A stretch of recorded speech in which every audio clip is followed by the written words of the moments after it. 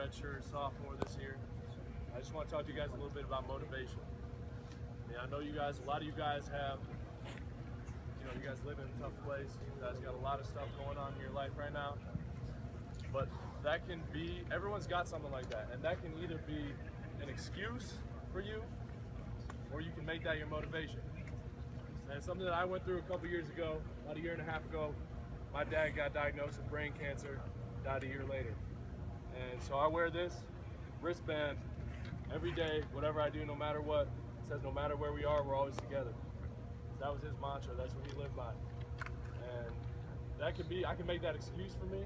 I could say, man, I've been through, I've been through a little bit, and I'm just gonna give up. You know, I feel, I, I can feel bad for myself, or I can let that motivate me. And I, I choose to let it motivate me. So anything I do, whatever I do, he's my motivation, and so is the rest of my family. My mom, I was fortunate enough, my parents were together my whole life until my dad passed away. And it's my mom's birthday today, and you know, I feel I don't feel bad for myself. I feel bad for my mom. I feel bad for my sister. They they went through it and they had a tougher time than I did. 'Cause my my sister is a daddy's girl. My mom now she's living by herself, you know, and it's tough on her. She just went back to work this week after almost a year of not working. She tried to go back before, she just couldn't do it. Her, her company let her go. So I mean, she's been having a real tough time. But that's where it falls on me. That's where it falls on my sister. Support her, whether it's emotionally giving her a call every day, telling her I love her every single day, being there for her.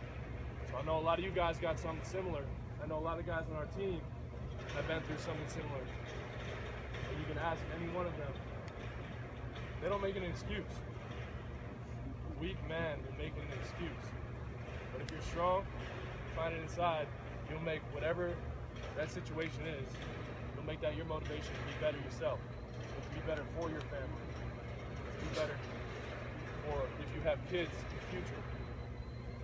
You know, I've been very blessed my whole life, and I miss him every single day. There's not an hour that goes by where I don't think about my dad.